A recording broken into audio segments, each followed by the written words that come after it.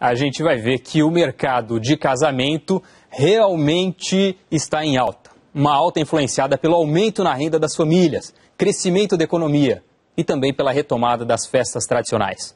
Nesse embalo, muitas pessoas encontraram uma oportunidade de negócios para atuar no mercado e ganhar dinheiro.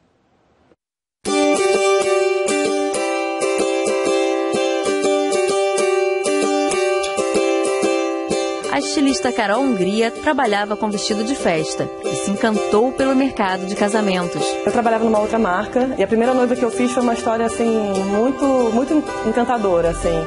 E me apaixonei pela história dela, pela pelo aquele momento que eu vivi com ela de ser um vestido muito único e me encantei e resolvi trabalhar só com noiva. Esse ano eu acho que a gente espera crescer uns 50% é, no ano de 2013, né? Ano passado eu acho que a gente já teve um crescimento também de 50% em relação a 2011.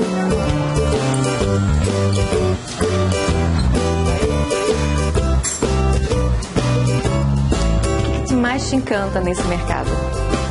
Eu acho que é a possibilidade da gente viver uma experiência muito forte junto com uma pessoa, assim. No meu caso, a gente faz umas cinco, seis provas junto com a noiva, a gente vai criando uma afinidade, vai criando uma, até uma amizade, né?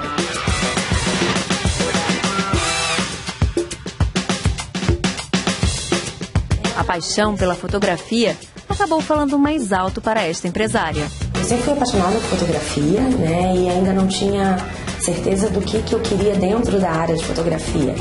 Então fiz várias outras coisas, né? Fui formada em informática, depois fui trabalhar com cinema. É, eu me deparei com o mercado de casamento e fiquei super apaixonada por essa linguagem nova. A gente vai trabalhar e, e sabe que vai fotografar emoções. Então, isso por si só já é maravilhoso. Você acaba se emocionando, se é, entregando e, e, e curtindo aquela felicidade dos noivos, da família, junto.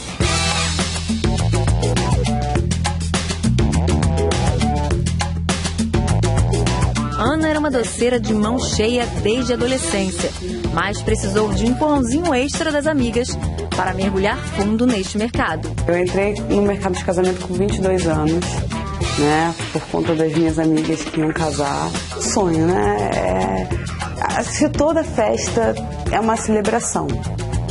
Então, assim, você trabalha com felicidade, com alegria. A expectativa de crescimento é alta, seria em torno de 15, 20%. A gente quer ampliar nossa fábrica, a gente está ampliando também a nossa gama de produtos. A gente não trabalha só hoje em dia com doce e chocolate, a gente trabalha com lembranças, caixas de bombom, é, upi, cupcake, brownie, pão de mel, e isso tudo está é, fazendo com que a empresa aumente o faturamento e, e também aumente a produção.